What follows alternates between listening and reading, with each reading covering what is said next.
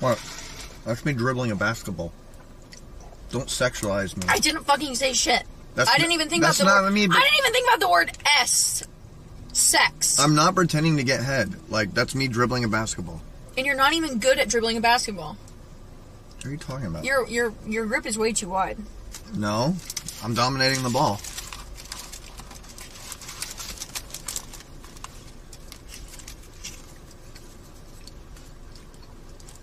No.